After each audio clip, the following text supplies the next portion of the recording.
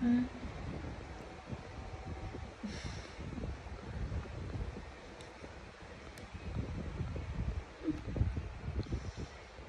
Tôi ăn máng cũng dành nữa ừ, của Linda nè